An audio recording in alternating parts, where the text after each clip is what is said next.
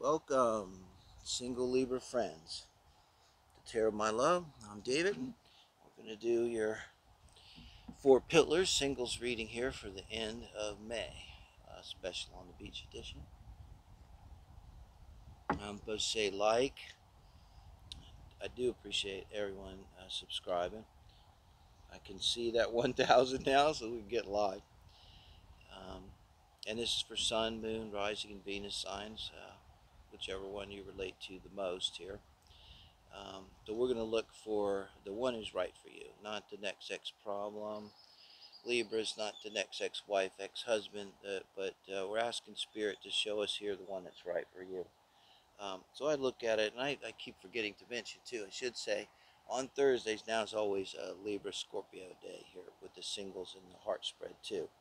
Uh, so we do this, the heart spreads for someone on your mind. This one is, is you're wide open and super single, and uh, your soulmate gets to come and land finally because now you've cleared a runway for them, and we're going to meet them and take them out and get to know them here. Um, and um, I pre-shuffle, put a little energy on them here, uh, Libras, and ask in the name of love and light, only so as serves the greatest good spirit. Can you tell us here to help us? Reveal as a soulmate of our Libra friends. We're in this uh, end of May time frame here in 3D spirit. Something practical. We want to get uh, personality, get some stories, history, personal history. And we're going to look at the emotional nature, the intellectual nature, the sexual and love nature, and I call this uh, lifestyle and core values here, the four pillars of a relationship. This is emotionally Six Pentacles. let's see here. And Nine of Swords. Okay. Intellectually, Four Wands. Hmm. And the Fool. I'm laughing because I kind of like them already. uh, uh, yeah, and they might make you laugh, actually. little jester here. This might actually, I don't know why I get a little feeling like, you know, it might be a clown as a side job or something, or uh, someone that can really let go uh, and uh, be entertaining, you know. I bet they tell jokes and stuff. So, um, with the Six of Pentacles and the emotional, along with the Nine of Swords, um, I'm immediately drawn to the moon here. Uh, that's got Virgo moon written all over it, which is very triggery. I think a Virgo moon is almost like a trauma point in any chart, honestly. Unless it's like very well aspected, I should say. You know, I hate to make this generalities, but uh, there's a lot of karmic stuff there. And so this someone would be with the nine swords easily triggered, you know. Um, so they might basically have PTSD. That could be. Um, and but it would be something they've been, been dealing with, and with the Six of Pentacles, somehow they can bring it into balance. And um, they and I see this a lot. Like this might just be innately in their nature. So really, I would read mostly like a like a, um, if it's a Virgo um, moon. Um, you know, uh, it may be better aspected. I don't know, but they seem to be able to bring it into balance um, because underneath, in the this is in the deep unconscious position here. Um, they had trauma in the past, you know. Um, it's sort of like keeping demons down, but they seem to be doing a pretty good job of it. I get the feeling, you know. But at one time and maybe periodically, it kind of rises up because I think they are very triggery, you know. Um, now, with their mind, um, so I think like this is kind of literal. They're all about love and relationships, you know. This is what's on their mind. I mean, they could literally be like a marriage counselor or something.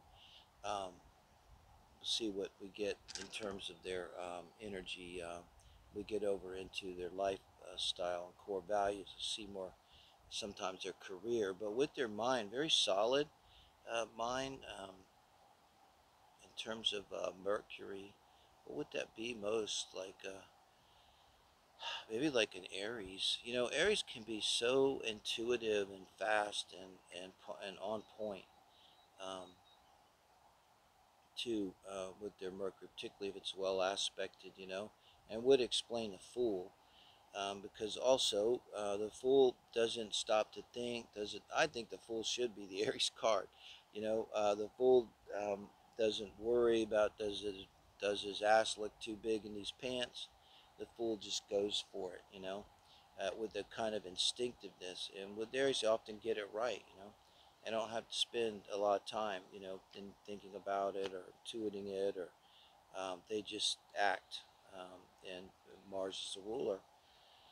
Um, so they might be quick to speak. I think they're funny. They could tell a lot of jokes. Um, um, they're, I think they're, they have kind of a mixture of traditional and non-traditional. So I think what this is saying is around love and relationships they're traditional here with the family, you know, traditional family. Um, and so it, it, it, this is their intellect now. So it's showing that they're kind of a nuts and bolts, a traditional thinker. Um, uh, even though it's fire energy, you know, there's someone that would be uh, practically minded. Um, but then it also shows that they're willing to be, the fool could be very intellectually curious. Um, very open-minded, so definitely someone that could be into tarot or anything, you know. Um, they're kind of like they would if they don't say when you're with them. I'm very surprised. Uh, I, they probably say it a lot. So I'll do anything once. This is like I'll do anything once. And you might hear that out of their mouth. Okay, um, your person here. Um, let's see, sexually, page of. Uh, Page of Pentacles. I love that little page. I call them the sincere page and justice. Okay. then, in their core values and lifestyle, Two of Wands and Ace of Cups. Wow. So, look at their core values and lifestyle. And you know, uh, lifestyle is just uh, how do you want to live? Uh, all the way from my smoker, non-smoker, uh, do I want to live in a house or a condo, uh, in the mountains, on the beach? Uh, is my life really about work? Is it more about my family and love life? what are you know my core beliefs? Then become mixed in with that and lifestyle is one of the things in the four pillars to me that can mostly uh, stand adjustments. Like emotionally, I think you kind of have to have that basic emotional connection. You have to have that intellectual compatibility. Of course, you have to have the sexual and love compatibility. So when it comes to lifestyle, it might be the easiest place to make the adjustments, you know. Um, uh, like if one wants to live in a condo, one wants to live in a house, you have to make some kind of a, a compromise, you know. Um, but this person, it shows me someone that, that they're very uh, oriented towards taking chances um, in terms of like their career and kind of how they see the world. And with the Ace of Cups down here at the bottom, you know, there's two kind of basic ways to look at the world uh, in terms of uh, uh, whether it's like a bounty and like a buffet or whether it's kind of like a desert in this hard place where you, there's never enough you know, and it's funny because I'm I'm kind of more the uh, I'm kind of more the latter, honestly, unfortunately. But uh, it is funny. Like two people look at the same thing and one be like, oh, you know, yay, and they're one that goes, yay. Uh, they tend to see the positive. Uh, they're very open to taking chances. Um, I tell you, this is comes in with the fool now, and over here, I like them. I'm laughing because I want to hear their stories. I mean, they can have a lot of crazy stories. I mean, uh, this is someone that's like they might say, uh, you know, I really I watch a video and go, damn, I'm going to jump out of an airplane, and and then they find out you can go, you know, double hook with somebody for uh, 400 bucks at the local airport, and they uh, put their coins together, and the next very next weekend they're jumping out of a plane, you know, with someone. So maybe that story they tell you. Um, and, you know, uh, kind of opportunistic. You know, it's hard to say what they might do. They're, they're just so wide open. It's, um, I think could be like a Renaissance person and just have a lot of uh, talents too with the four wands in the Fool. Is being kind of balanced in a fire way, um, and and wide open and um, you know so um, they may have taken in a lot. The person could be really smart too. I haven't said that a while, but with the four wands and the Fool, this kind of balance. Someone who's like uh, like in a in a quirky way though. Like uh, you would notice this, you would notice as you meet them. It'd be like a little uh, Sheldon like type thing or something. You know, uh, way so their mind stands out as being really different and unique. You know, um, they don't maybe say normal things or something. Uh, uh, respond to things with a very unique. Like you actually, when they talk and say something, you would kind of stop and go, uh, "I never really thought of it that way." But yeah, that actually kind of makes sense. You know. Um, um, I don't know if I said maybe it could be a Sag Mercury here, um, which can be like that, huh? And we could be dealing with a like a Capricorn moon, Aquarius moon, or Virgo moon, something uh, like that. Um, or we could be dealing with a Virgo moon too, but definitely Earth.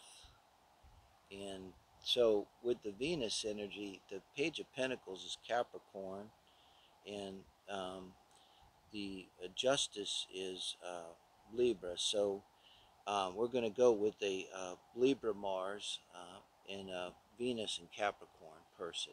And the Venus and Capricorn goes very well with their four wands. You know, maybe they don't even know it. Maybe they don't know astrology. They might with the Fool. It might be a person knows a little bit about everything. You'd be great at uh, doing these uh, games, trivia games and stuff. Um, but literally kind of knows a little bit about everything. This person, like anything you bring up, they probably can say, "Oh yeah," kind of talk about it, know uh, something about it here. Um, so you're looking at the Libra, uh, Venus, in a Capricorn Mars. So Libra is at home uh, here in uh, Venus, and uh, Mars is exalted in Capricorn. So um, it would totally explain someone whose mind is on the building of a solid marriage and long-term committed relationship 100% very sincere about that um, so in terms of sex i mean they're going to be very focused on you i think um, and very let's say generous uh, lover and the same way in terms of love like i think it's like going to be all about you and the family with them. And I don't see them at all as being conservative. This is not, it's all about the family, but they are not a Trumper or I don't know, whatever the connotations are. They're not conservative. Um, they're just care about their love interest and their family first, you know. Um, they, because I think this could be a really radical person, someone who's very different. Uh, whatever their beliefs are, whatever they do, I think there's some kind of entrepreneur. They, they go their own way, the Two of Wands and the Ace of Cups. Follow their heart. You know, they are 100% not working. This person will probably live on the street and probably figure it out.